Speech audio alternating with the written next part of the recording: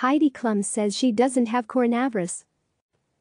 Heidi Klum has been ill, but on Tuesday she put everyone's minds to rest. She does not have coronavirus. The America's Got Talent judge fell ill earlier this month. Klum let the world know with a photo of herself laying in the grass on her verified Instagram account. Day 14 of staying home number COVID-19 negative, the caption read. Klum, 46, reportedly went home ill from the set of America's Got Talent earlier this month after she began to feel sick. She later said in an Instagram story that she had attempted to get tested for the coronavirus but had been unable to. The news that Klum does not have the virus was celebrated on social media. Oh thank God, fellow supermodel Naomi Campbell wrote in the comments of Klum's Instagram photo, using praying hand and heart images. I hope you're feeling better.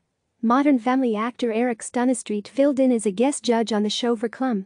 Klum co-stars alongside Simon Cowell, Howie Mandel and Sofia Vergara in the reality competition series hosted by Terry Crews. CNN's Sandra Gonzalez contributed to this report. Click subscribe to receive the latest news.